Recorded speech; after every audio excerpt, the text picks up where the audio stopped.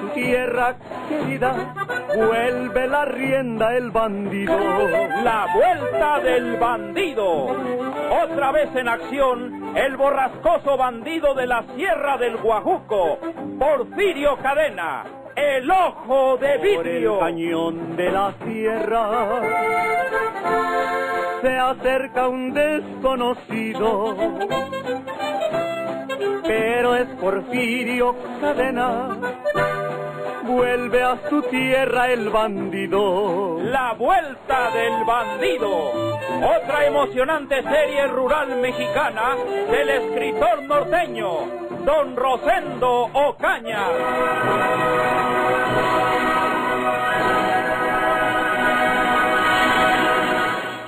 Te has estado burlando de nosotros, tratando de engañarnos. Pero ahora nos vas a decir la verdad. O te la sacamos a puros retazos. Así No, no, no, espérate, Lino. Este amigo nos tiene que decir la verdad ahorita mismo.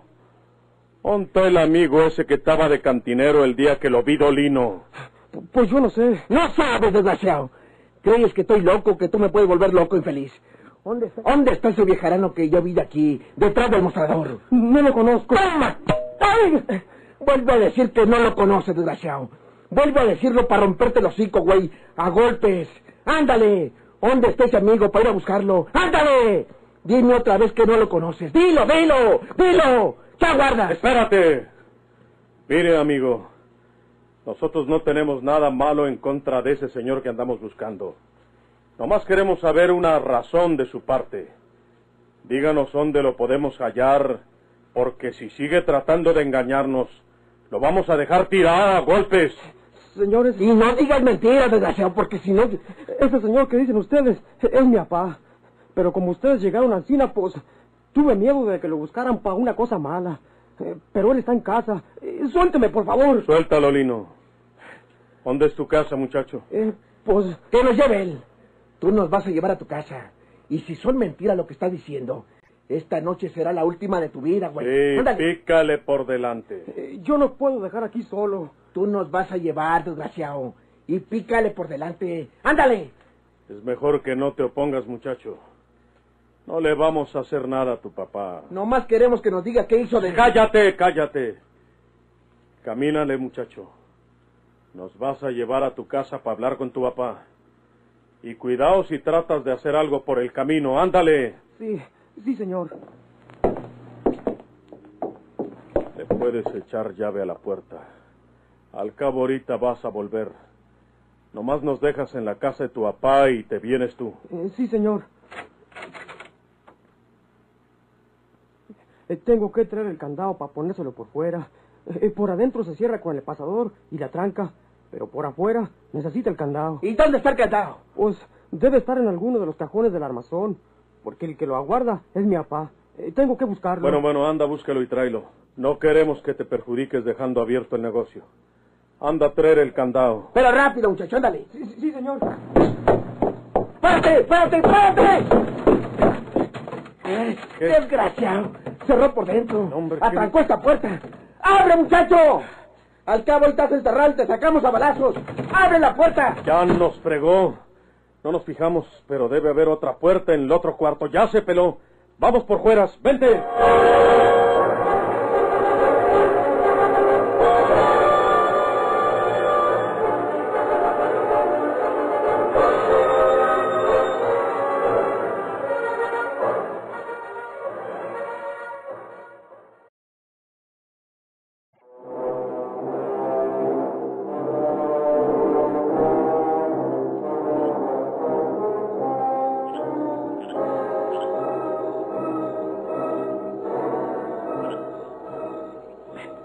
Nos hizo aguaje ese muchacho desgraciado.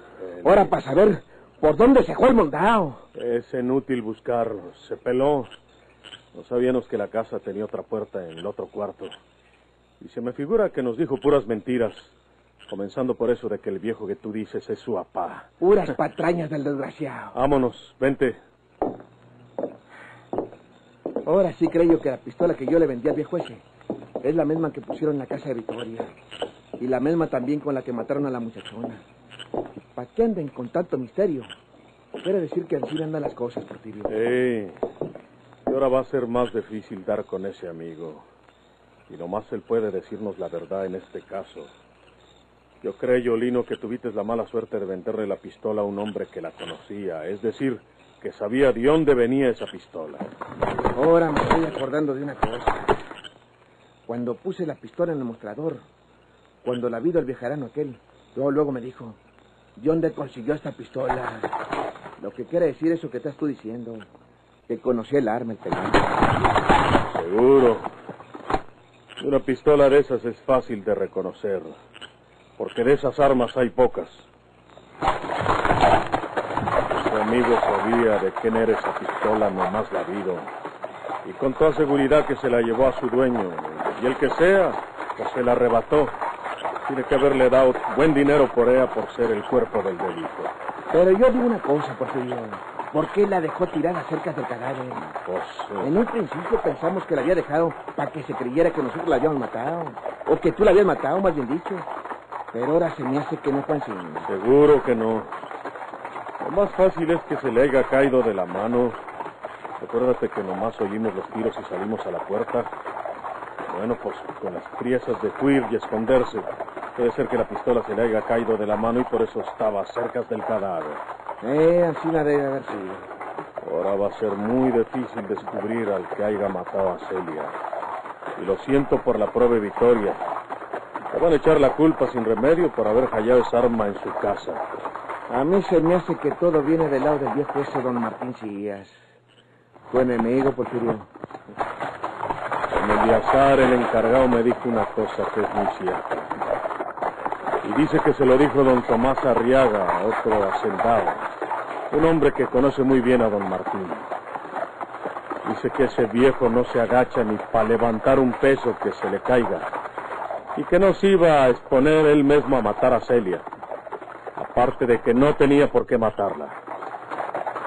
Bueno, pues, de mi modo. Ahora nos vamos a dormir y ya veremos lo que se hace mañana.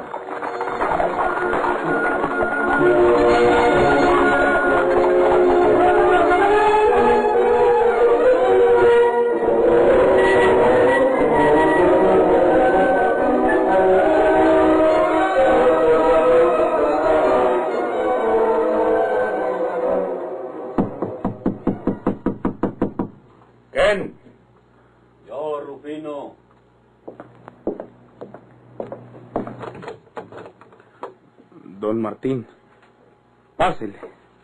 Gracias, Rufino. Ya sabes, Rufino, que te acompaño en tu pesar. Nomás a eso vine. Y no había venido antes porque creía que estabas en Monterrey. Pues ahorita voy a salir para allá, don Martín. Me avisaron que, que ahora me entregaban el cadáver de mi hermana y voy a traerla, a sepultarla aquí. ¿Y para qué la traes, hombre? Pues, No sabes los requisitos que hay que cubrir para traer un cadáver desde tan lejos. Tienes que conseguir un permiso especial del gobierno. Luego, pues en cada municipio hay que sacar otro permiso y pagar una cuota que cobran por ese concepto. Y lo que te cobre el mueble que la traiga, que tiene que ser una carroza. pues, eh, Mira, no la traigas para acá, hombre. Sepúltala ya. Vas a decirme que aquí están enterrados tus padres. pues... ¿Y eso qué tiene que ver? Donde quiera puede quedar uno ya muerto. Mira, yo te aconsejo que la entierres allá. Y aquí te traigo estos centavos porque estoy seguro que los necesitas. Yo se los pago después, don Martín. No, no, no tienes que pagarme nada porque no te los estoy emprestando, te los estoy dando. Porque al amigo hay que socorrerlo en su desgracia. Muchas gracias, don Martín. Y no vayas a creer que te doy ese dinero como para taparle el ojo al macho, no. Es decir, porque yo tenga culpa en eso y que quiera disimularla con dinero, no, no. No, lo creo en sí, don Martín. Eleazar anda equivocado también, porque esa muchacha Victoria no puede ser la persona que mató a tu hermana. Entonces, entonces, ¿qué, don Martín? Pues hombre, eso no lo sabemos todavía. Pero tiene que salir un día de estos. Yo creo que la persona que haya matado a tu hermana no quiso hacerle un mal a Porfirio. Me lo quiso hacer a mí. ¿A usted? ni más ni menos, Rufino. Saben que soy enemigo de Porfirio. Saben que he tratado de matarlo.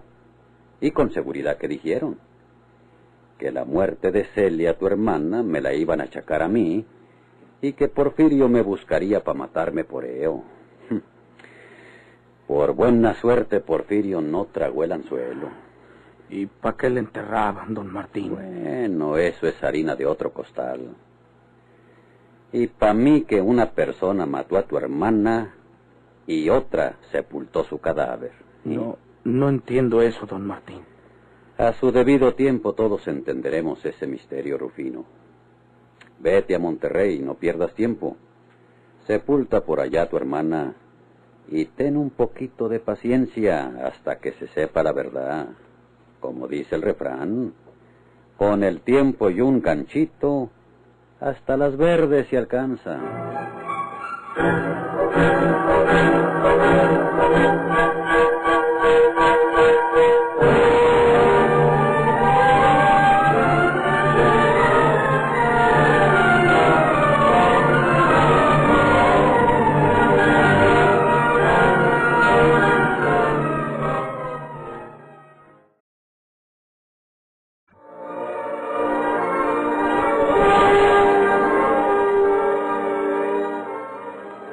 Preventivamente, Victoria fue detenida en la cárcel de la Villa de Santiago. No se hallaba encerrada en ninguna celda, sino en uno de aquellos cuartos de lo que se conocía como la comandancia.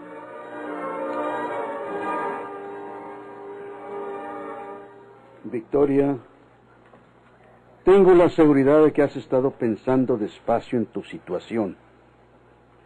¿No crees que es mejor que me digas a mí la verdad? Allá en Monterrey no van a tener ninguna consideración contigo. ¿Qué puedo decirle a usted? Ya le dije lo que yo sé. Yo no maté a Celia. ¿Cómo le iba a matar yo? ¿Por qué? A mí no me hizo ningún mal. ¿Y la pelea que tuvieron en el ranchito esa mañana, antes de su muerte? Ya le dije a usted que no nos peleamos. Ella me dijo una bola de cosas. Yo le dije otras, y eso fue todo. Ella se vino para el pueblo y yo me quedé en el rancho. Y en la noche me vine para el Durazno, donde estaba durmiendo todos los días. ¿Y la pistola que yo encontré en la cómoda? Ah, pues, ¿cuántas veces, cara que le diga que yo no sé nada de esa pistola? Yo no la había visto en mi vida. Alguien tiene que haberla puesto ahí para criminarme. Mm, ¿Pero quién? Pues, ¿sabe? Esa pistola la encontré delante de ti. Delante de tus ojos abrí la cómoda y la saqué. Y Porfirio también fue testigo de eso. Y no pudo alguien ponerla allí para fregarme a mí. ¿A poco no se pueden meter a la casa por la ventana? Muchas veces se queda sin la lava porque se me ha olvidado ponérsela. No. Las pruebas que hay, todas están en tu contra, Victoria. Si estás ocultando algo, es mejor que me digas la verdad, porque yo puedo ayudarte. La policía de Monterrey no tarda en venir por ti, y ya estando allá, nosotros no podemos hacer nada por ti. Lo siento, don Eliazar. Lo único que yo puedo decirle es que yo no maté a Celia, y que esa pistola no es mía, ni la había visto en mi vida. Y usted sabe que en mi casa no tengo más arma que el rifle que usted mismo vio en la cómoda. Junto con la pistola. Esa pistola no es mía. Ahí le pusieron para echarme la culpa a mí. Ah. De una cosa estoy seguro, Victoria. Tú estás ocultando algo. Tú sabes algo, pero no quieres decirlo. Y no me desmientas, porque esa es la verdad. Yo no estoy escondiendo nada. ¿Lo juras? Lo juro. ¿Lo juras por la memoria de tu madre muerta? ¿Eh? ¿Qué pasó? ¿Por qué no contestas ahora? Por la memoria de tu madre muerta juras que no estás ocultando algo que sabes sobre ese crimen, ¿eh? No. Pues esa negativa es toda una confesión de que sabes algo que no quieres decir. Y antes de que te lleven para Monterrey, quiero que sepas que si no dices lo que sabes, las pruebas que hay te perderán y puedes pasar muchos años en la penitenciaría del Estado. Yo soy inocente. No lo serás del todo, puesto que sabes algo que no quieres decir. En las cárceles, Victoria, hay muchos inocentes que se complicaron su situación en una condición muy parecida a la tuya. Bueno, tú sabes lo que haces. Sí, señor. ¿No tienes nada más que decirme? No. Muy bien.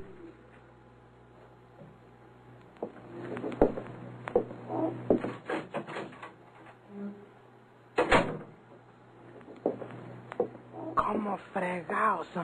Le voy a decir que Porfirio y el amigo ese enterraron el cadáver de Celia. Pues, eso es lo único que yo sé.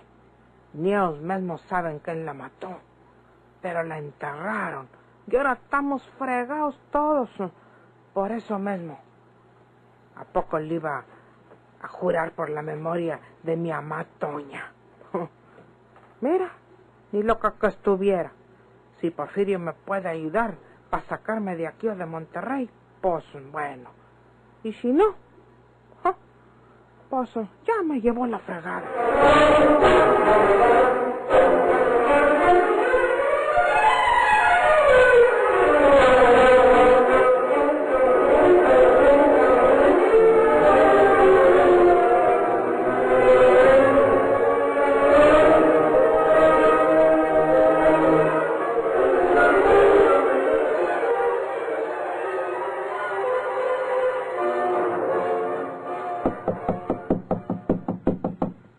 Adelante. Buenos días, Martín. Mm. Buenos, Tomás Arriaga. ¿Puedo pasar? Si quieres entrar en mi casa, ahí mismo, ahí en el marco de la puerta, dime que retiras los insultos que me dijiste aquella noche. ¿Y tú vas a retirar lo que me dijiste a mí? ¿Quién te ha dado permiso para que te acerques a mí? Te dije que primero retires los insultos que me dijiste aquella noche. Eso estoy esperando. Eh, vamos hablando como la gente. Yo no tengo nada que hablar contigo, Tomás Arriaga. Me ofendiste aquella noche. Yo quise olvidar tus insultos eh, y te invité a que cenaras en casa conmigo como los otros amigos eh, y me desairaste. Vete de aquí. ¿Crees que estás hablando con uno de tus monigotes? Lárgate de mi casa. Tú mataste a Celia Sánchez. Ah, sí. No sería con una pistola calibre 45 pavón blanco de un amigo mío o de un ex amigo mío. Eh, no sé de lo que me estás hablando. Con tu permiso. sí. ¿Por qué no me contestas? ¿Por qué te vas asustado? ¿Por qué no me vuelves a decir que yo maté a esa muchacha? ¡Desgraciado!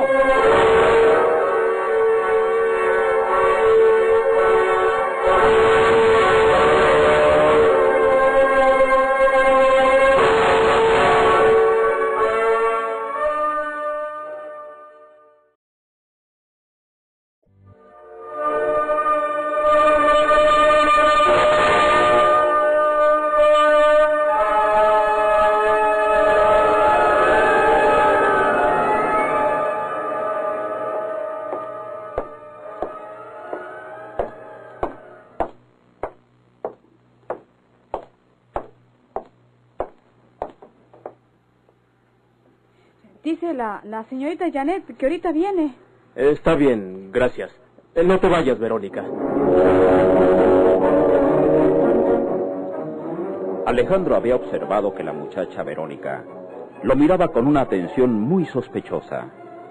A veces volvía la cabeza casi impensadamente y se encontraba con sus ojos que desviaba instantáneamente. He notado que me miras como si me estuvieras estudiando, Verónica. ¿A qué se debe? Eh, no, no, señor, no. Nada. ¿Crees haberme conocido antes? Eh, no. ¿Crees haberme visto antes en otra parte, por ejemplo? Eh, no, no, señor. Entonces, ¿por qué me observas así? No, señor. No es así. No me doy cuenta de él. Con su permiso. Algo se trae esta muchacha. Estoy seguro. Pero, ¿qué será?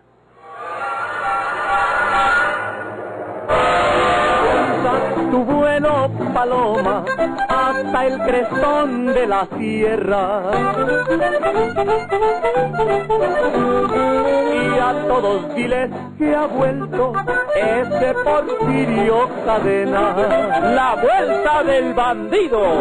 Por esta estación y a la misma hora, siga escuchando los emocionantes capítulos de esta nueva serie rural mexicana del escritor norteño, don Rosendo Ocañas.